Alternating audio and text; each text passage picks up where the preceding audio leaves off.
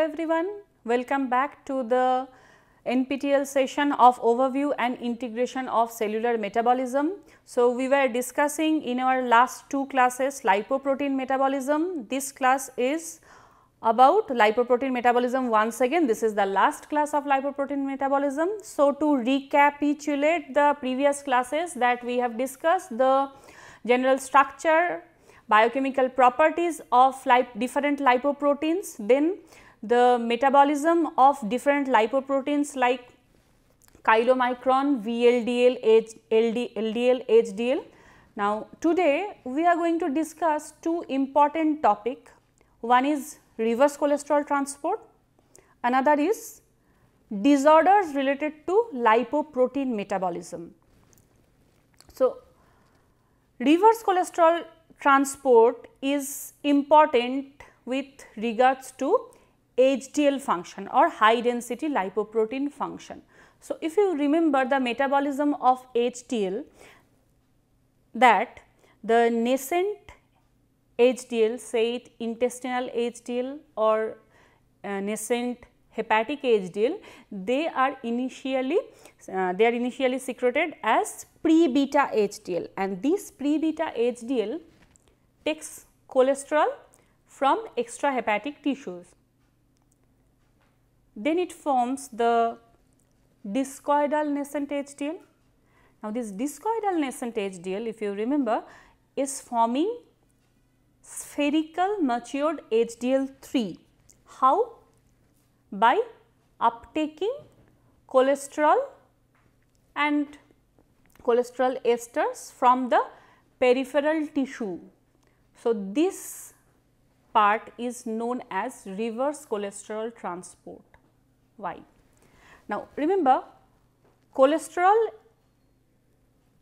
endogenous cholesterol in very low amount or um, sorry exogenous cholesterol which is uh, through uh, ingested through diet that is very low in amount and also endogenously mainly endogenously synthesized cholesterol they are delivered to extrahepatic tissues with the help of the uh, lipoprotein particles like VLDL, most important is LDL, uh, low density lipoprotein. So, this is how cholesterol is transported from liver to extrahepatic tissues. Liver is the synthesizing organ in of cholesterol. So, this is cholesterol transport. The reverse one is basically transporting or transferring uh, back of cholesterol from extrahepatic tissue to liver.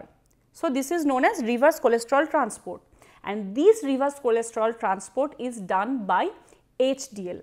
Now, in this regard there are two very important uh, receptors uh, that is playing the those are playing the main role in reverse cholesterol transport.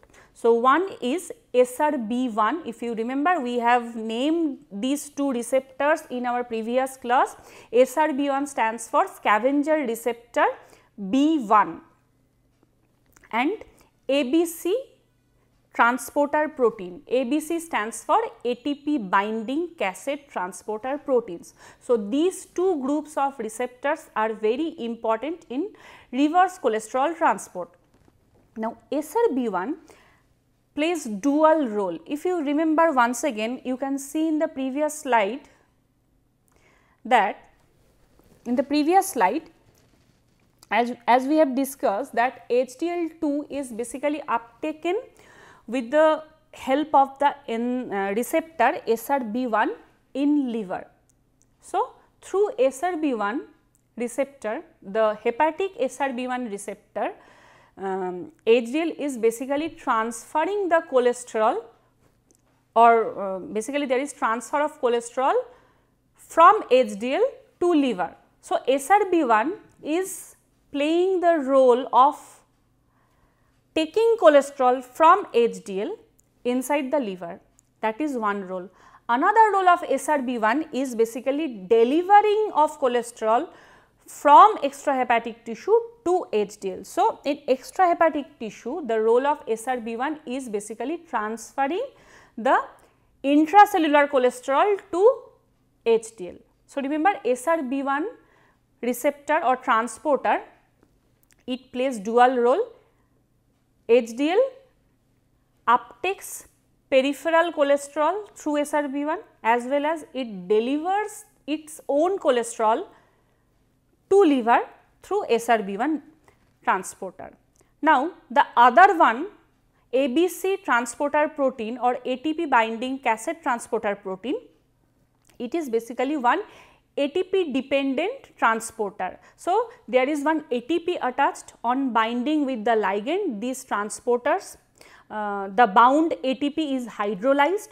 The energy is the reason by which there is delivery of intracellular cholesterol from uh, the cell to the HDL. So, ABC transporter protein. Now, ABC transporter protein are of different types. It can be ABC A1, can be ABC G1. Now, remember ABC A1 is important for delivering of cholesterol to the pre-beta HDL. So, once again if we go to the previous slide, so you can see that ABCA1 is important for delivering cholesterol to the pre-beta HDL, whereas ABCG1 uh, transporter is important for delivering cholesterol to the discoidal HDL as well as to the matured HDL 3. So, this is important for reverse cholesterol transport. So, you can see pre-beta HDL is the cholesterol poor triacylglycerol depleted particle. So, it has the maximum tendency of uh, uptake of cholesterol from the endogenous uh, extrahepatic tissues. Then HDL3 are also HDL3 molecules are also important for uptake of um, peripheral cholesterol. So, these two important receptors are there which are actually important for uh, reverse cholesterol transport. Apart from that, that another enzyme that is LCAT if you remember lecithin cholesterol acyl transferase is also important. So, basically the transferred cholesterol uh, the transferred cholesterol which is transferred from extrahepatic tissue to the HDL is actually converted to cholesterol ester with the help of the enzyme LCAT forming the hydrophobic core. So, basically uh, the content of cholesterol is reduced in HDL. Similarly, another protein is there that is CETP. So, CETP what it is causing? CETP is delivering the uh, cholesterol ester from HDL to uh, the other lipoproteins like VLD and LDL. So, basically these two LCAT as well as CETP they are reducing the uh, cholesterol content in HDL. So, cholesterol depleted HDL formed when it circulates through the extrahepatic tissues. The gradients, gradients difference of cholesterol between HDL and extrahepatic tissue is the main reason of cholesterol transfer from extrahepatic tissue to HDL. So, basically whenever there is cholesterol poor HDL is circulating through the extrahepatic tissues which contains high amount of cholesterol, there is reverse cholesterol transport through the receptor SRB1 as well as ABC transporter protein. So, now we are going to discuss different clinical conditions related to lipoprotein metabolism. They are mostly related to lipoprotein synthesis, lipoprotein transport or lipoprotein degradation. Remember these are the primary uh, defects in lipoprotein metabolism. So, basically these are the inherited condition. Similarly, different other acquired conditions are there where lipoprotein contents are increased or decreased importantly diabetes mellitus, atherosclerosis, kidney disorder like nephrotic syndrome. Those are the acquired condition where lipoprotein concentration is increased in the circulation. But today we are going to discuss the familial condition or inherited conditions these are known as the primary uh, dyslipoproteinemias. So, this, these lipoproteinemia can be hypolipoproteinemia, can be hyperlipoproteinemia. So, hypolipoproteinemia are basically where the lipoprotein concentrations are low, hypo, whereas hyper stands for increased. So, hyperlipoproteinemias are basically where the lipoprotein concentrations are increased. So, these are the two important primary hypolipoproteinemias. One is A beta lipoproteinemia. So, A beta lipoproteinemia is basically associated with a defect in synthesis of ApoB. Beta lipoprotein is related to ApoB, apoprotein B. Now, the problem in synthesis of ApoB and if you remember ApoB 100 is linked with LDL and ApoB 48 is linked with VLDL. So, what will happen if there is uh, sorry um, ApoB 48 is basically related to chylomicron I am sorry VLDL and LDL they are linked with ApoB 100. So, what will happen there is reduced there will be reduced concentration of chylomicron, VLDL and LDL because there is no apoproteins, no apoprotein B is there. So, what will happen in blood acyl glycerol concentrations will be very low. So, there will be accumulation of those lipids or acyl glycerols to those organs from where chylomicron and VLDL were synthesized. So, chylomicron were synthesized in intestine and VLDL were synthesized in liver. So, those triacylglycerol because they cannot come in the circulation through chylomicron or VLDL. So, they will be accumulated inside intestine and liver. So, there will be intestinal malabsorption those lipids cannot be absorbed and cannot be circulate cannot enter the circulation. So, there will be mal intestinal malabsorption and if you remember that dietary lipid is important for transfer of lipid soluble vitamins like vitamin A, D, E, K. So, there will be severe vitamin these fat soluble vitamin deficiencies and the early death can be avoided by administration of those fat soluble vitamins in large doses particularly vitamin E in this regard is very important. So, this is about beta lipoprotein deficiency. Then we are coming to the alpha lipoprotein deficiency. Alpha lipoprotein is related to HDL. So, there are three primary alpha lipoprotein deficiency. One is Tangier's disease, then there is fish eye disease and finally ApoA1 deficiency. Now, what happens in Tangier's disease? This transporter synthesis is defective. So, if you remember ABCA1 transporter, why it was important? Remember pre-beta HDL, the nascent, very nascent HDL which is secreted from uh, intestine or liver, it was pre-beta HDL and pre-beta HDL takes up the peripheral or extrahepatic cholesterol with the help of the transporter ABCA1 to form the nascent discoidal shaped HDL which is finally forming the other forms of HDL that is HDL 3 or HDL 2. Now, in absence of this ABCA1 transporter what will happen?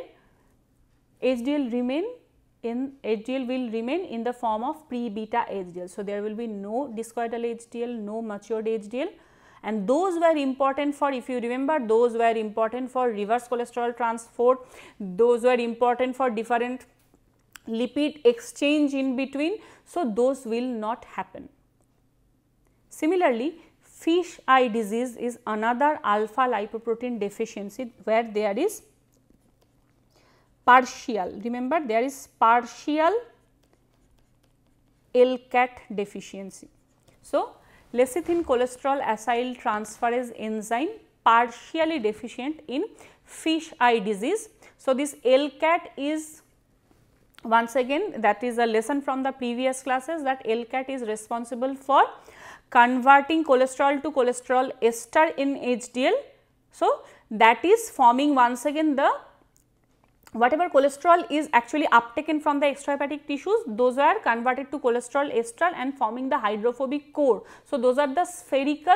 So, LCAT is responsible for forming the spherical HDL mature HDL that is HDL 3, HDL 2 those were formed by LCAT. So, once again the matured HDL will be absent in circulation. Similarly, ApoA1 deficiency is another important thing. If ApoA1 is deficient, there will be defect in pre-beta HDL formation even. So, finally what will happen? There will be low or near absence of HDL in circulation. Now, if there is absence of HDL, remember HDL was acting as the store of different apoproteins one very important apoprotein is ApoC2. So, if you remember once again that the nascent chylomicron and the nascent VLDL they have been matured with transfer of ApoC2 and that transfer occurs from HDL to the uh, nascent chylomicron or nascent VLDL and that ApoC2 was important why for activation of lipoprotein lipase. So, lipoprotein lipase was that important enzyme which is finally degrading triacylglycerol and providing the uh, free fatty acid or uh, free fatty acid to the peripheral tissues. So, that will not happen. So, lipoprotein lipase will not be activated because there will be no HDL. So, there will be no ApoC2 delivery and there will be no lipoprotein lipase activation. So, what will happen? The circulatory triacylglycerol will be increased because the matured uh, chylomicron or matured VLDL they will be having triacylglycerol inside them, but they cannot be able to deliver the uh, lipids to the peripheral tissue. So, what will happen? There will be predisposition of atherosclerosis because of increased circulatory triacylglycerol due to absence of HDL. So, these are the two hypolipoproteinemias. Next, we are coming to hyperlipoproteinemia. So, primary or familial hyperlipoproteinemia are of different type amongst them. Type 1 is due to lipoprotein lipase deficiency. So, type 1 is known as familial lipoprotein lipase deficiency where the function of lipoprotein lipase is defective. Now, this defective lipoprotein lipase can be due to deficiency of lipoprotein lipase or the factor which is activating lipoprotein lipase that is ApoC2 deficiency that is also causing inefficient lipoprotein lipase function. So, finally, the effect will be there is no delivery of triacylglycerol or uh, no, no breakdown of circulatory triacylglycerol in chylomicron and VLDL. So, the clearance of those chylomicron and VL circulating VLDL and L, uh, chylomicron will be low, but it happens. So, coronary disease risk is comparatively low in this condition. Now, coming to the type 2A which is known as hypercholesterolemia and this is due to the defect in LDL receptor. Now, remember LDL once again where we have discussed the structure of LDL receptor like all receptor there is a ligand binding domain. Now, in type 2A dyslipoproteinemia that ligand binding domain of LDL receptor is basically defective. So, even if there is LDL receptor they cannot bind the ApoB100. So, what will happen? LDL will not be catabolized or uptaken inside the liver or inside the peripheral tissues. So, there will be elevated LDL in circulation causing hypercholesterolemia, circulating cholesterol is very high and that will finally be deposited, those cholesterol will be deposited in uh, coronary vessels, heart vessels causing atherosclerosis. Next condition is type 3. So, type 3 hyperlipoproteinemia is also known in different other names like broad beta disease, remnant removal disease, familial dysbeta lipoproteinemia. Now, this remnant removal disease if you remember, you can remember what happens in this type 3 condition. What happens is basically there is a defective remnant removal. Remnant means chylomicron remnant or VLDL remnant as well. So, what will actually where is the defect? The defect is in ApoE.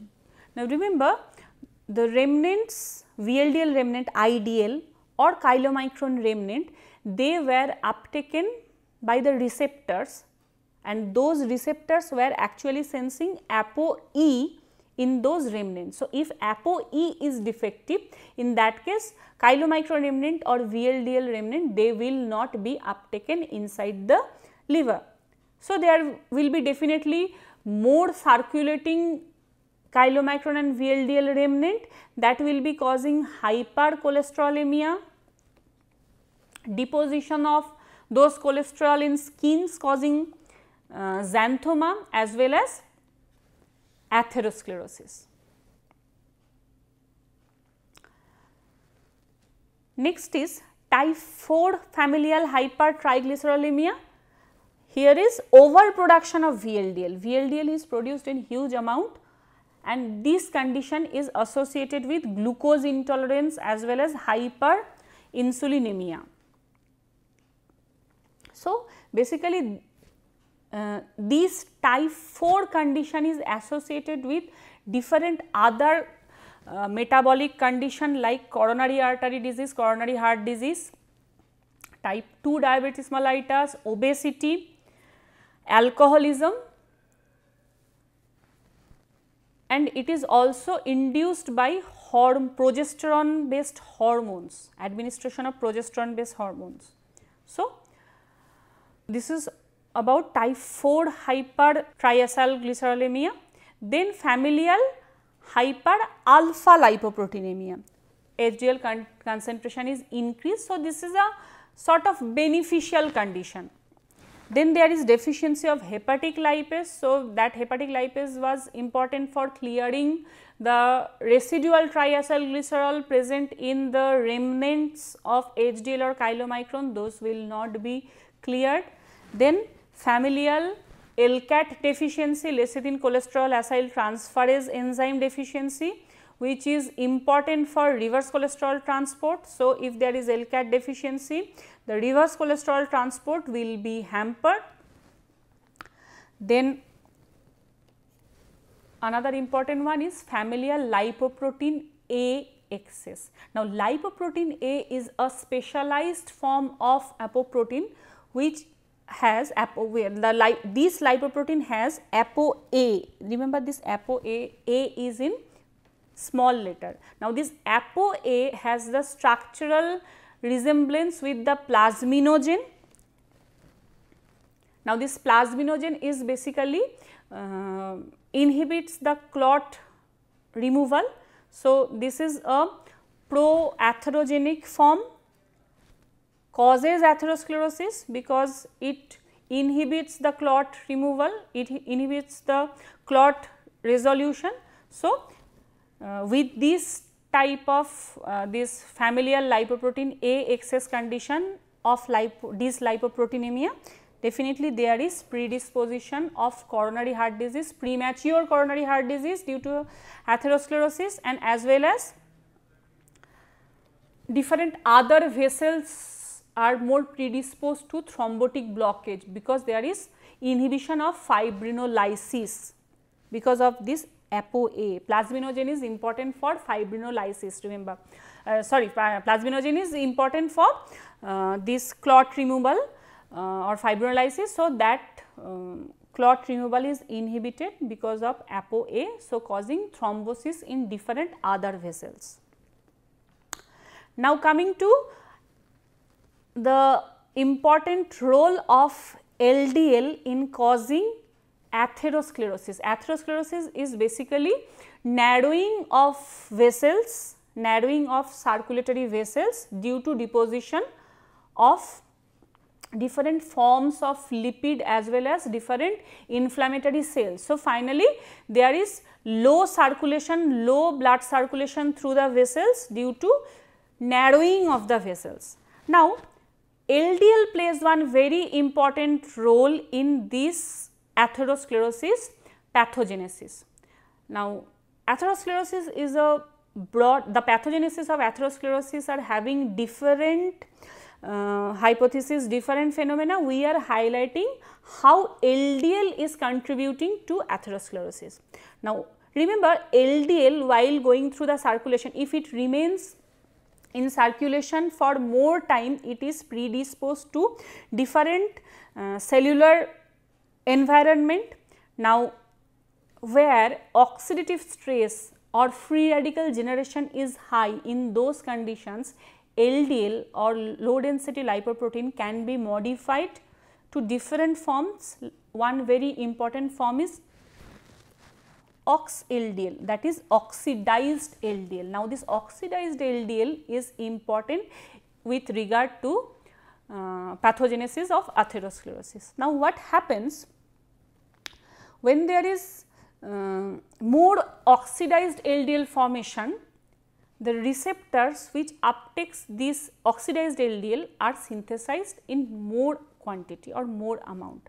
One such receptor is LOX1 now, LOX1 is known as lectin like oxidized LDL receptor 1. Now, this LOX1 receptor is highly expressed in endothelial surface. Endothelial means blood vessels, endothelium. This in, this, in this blood vessels endothelium, LOX1 receptor is expressed in high amount when there is high circulation of oxidized LDL. Now, LOX1 binds to the OX LDL that is a receptor ligand binding and it delivers the oxidized LDL inside the intima media of blood vessel.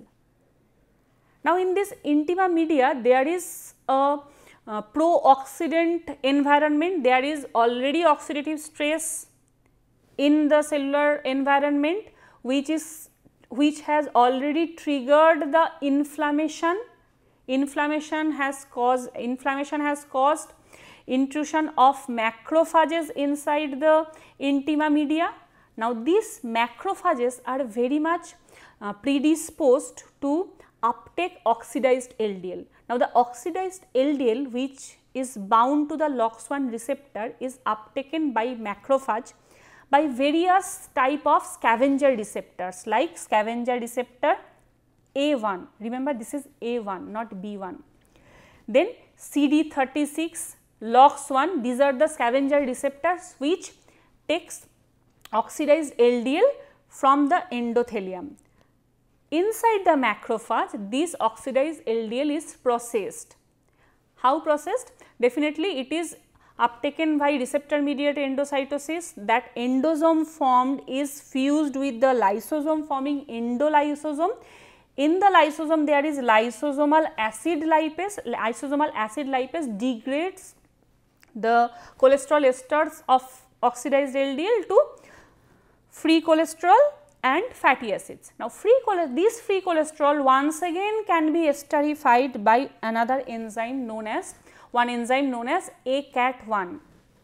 ACAT1 stands for acyl coenzyme A, acyl transferase. Now, this ACAT1 basically re-esterifies the free cholesterol inside endoplasmic reticulum. Now, this stored cholesterol in uh, cholesterol ester in endoplasmic reticulum can be degraded with the help of the enzyme neutral cholesterol ester hydrolase to release cholesterol free cholesterol and that free cholesterol can be uptaken by HDL if you remember by the reverse cholesterol transport. Now, problem is when there is a pro-oxidant pro-oxidant environment in cell which is predisposing to uh, different uh, which is uh, causing release of different cytokines, different pro-inflammatory cytokines, uh, accumulating different pro-inflammatory cells, pro-inflammatory macrophages. In those conditions what happens? These uh, receptors, these receptors related to reverse cholesterol transport like ABCA1 receptor, ABCG1 receptor, SRB1 receptor, these receptors are down regulated. So, the reverse cholesterol transport is hampered. Remember when there is a balanced condition, when there is a homeostasis in lipoprotein metabolism, even if this oxidized LDL is uh, entering the in macrophages, they can be uh, delivered to liver by a reverse cholesterol transport. But the problem happens when there is uh, this uh, the pre the pro-oxidant condition or inflammatory condition is exaggerated so much so that the homeostasis cannot be maintained. So, in those cases these uh, receptors related to reverse cholesterol transport are very much down regulated. So, the reverse cholesterol transport is hampered as well as this ACAT activity is very high. The macrophage receptor which are causing uptake of oxidized LDL they are expressed in very high concentration. So, what happens? There is high uh, there is increased uptake of oxidized LDL in macrophages. Those um, LDL are basically delivering cholesterol and the cholesterol esters are accumulated inside macrophages which cannot be cleared by reverse cholesterol transport. So, the macrophages are now um, highly um, highly full with uh, the cholesterol ester forming foam cell. Now, those foam cells are actually accumulated in intima media of the vessels causing uh, formation of fatty streaks you can see there is formation of fatty streaks which is you can see causing narrowing of the lumen. So, the lumen uh, diameter is narrowed down and finally, they are forming atherosclerotic plaque. Now, this atherosclerotic plaque is important for narrowing of blood vessels finally predisposing to myocardial infarction. So, this is how LDL contributes to formation of atherosclerotic plaque finally causing atherosclerosis and myocardial infarction. So, another important role uh, here I want to discuss is that the role of CETP. Remember CETP was important for um, exchange of triacylglycerol um, and uh, different cholesterol esters in between HDL and um, other lipoproteins like VLDL or IDL or LDL. Now, the problem is when there is inhibition of CETP, the HDL3 cannot be converted to HDL2. Remember that uh, there is a cycle of HDL if you remember that HDL3 was actually uh, forming HDL2 by donating triacyl uh, sorry by uptaking triacyl glycerol from VLDL or L, uh, IDL with the help of the protein CETP. Now, this circulation this cycle will be hampered and remember HDL2 was actually used to be uptaken by liver. So, what will happen? There will be increased concentration of HDL3 in absence of CETP. This conversion to HDL2 will not happen. Similarly, HDL2 will not be uptaken by liver because that is not HDL2 that is HDL3 hepatic lipase is acting less. Also the scavenging function of HDL will be low. So, finally, CETP inhibition is associated with atherosclerosis. Now, there are different drugs which causes inhibition of CETP, those are actually predisposing to atherosclerosis. So, what we have seen that LDL is uh, related to positively related to the risk of cardiovascular disease, but the role of HDL is not absolute. Remember even if HDL3 is very high in circulation that is causing atherosclerosis. So, what is required is LDL HDL ratio which can be used as a diagnostic tool for cardiovascular disease. So, the good one LDL HDL ratio is taken as 3.5 so, in this session what we have learnt is a detailed reverse cholesterol transport, how HDL is actually transferring back the peripheral or extrahepatic cholesterol to liver. Then the role of HDL in atherosclerosis via formation of foam cells through different modified LDL like oxidized LDL and also we have discussed different primary dyslipoproteinemia or primary lipoprotein metabolism disorder. So, these are my references. Thank you all. See you in the next session.